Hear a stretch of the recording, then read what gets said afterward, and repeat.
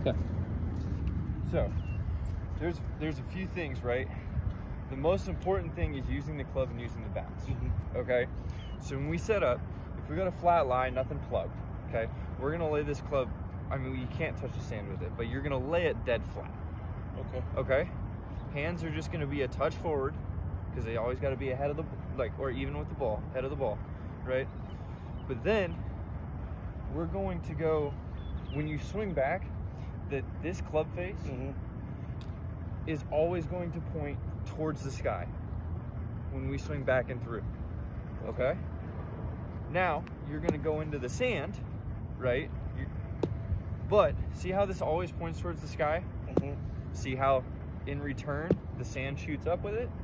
So, right? Widen out, weight a little bit more on your front foot, hands slightly ahead, club face wide open. Okay? And then just keep the club head or the, the face pointing towards the sky, going back, and when you come through, make sure you hit obviously sand and not ball.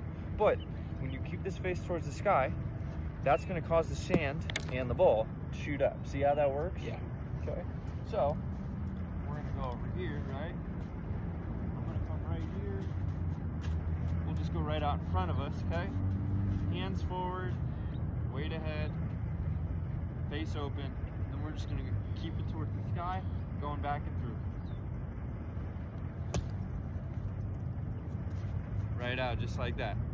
Okay? Okay. So, but the one thing we can't do is if this turns over like a normal golf shot and this Mhm. toe goes down and this does not face towards the sky, Mhm. you are Just gonna hit and roll back down. skulling it, Yeah. chunking it, nothing good is happening. Yeah. We have to keep this towards the sky so that it bounces open like that. Does that make sense? Yep.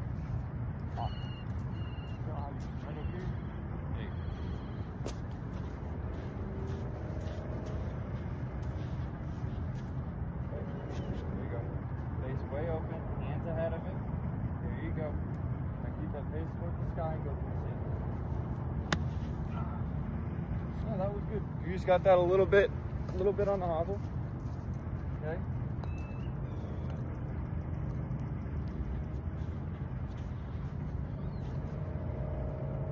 Face more open.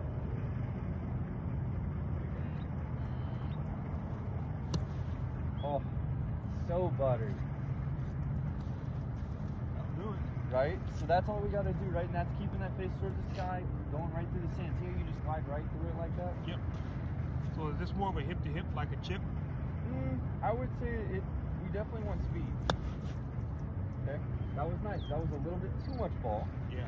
or a little bit too close to the ball. But see how we still have margin for error there, Yep. and it's not a knife across the green or a chunk. That's all keeping this towards the sky.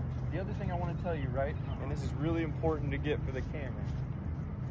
We'll, we'll go right after the shot. Oh, that was so so good, so good. When you take your grip, okay. Uh, Late, start with the club open and take your normal grip. Don't start with your normal grip with the club square and then, then open. so open it. Normally, then take your grip. Okay. There you go. Okay. Does that make sense? Yep. Perfect. Makes total sense. Perfect. Very nice. A little close to the ball. Because if I grip it and then open it, we got this weird grip where yeah. we want to close it, right? And that's going to screw us up and we're not going to get good contact. Yep.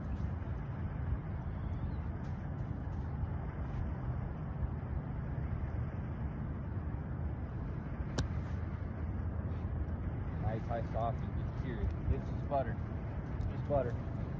That's how you play a bunker shot, guys.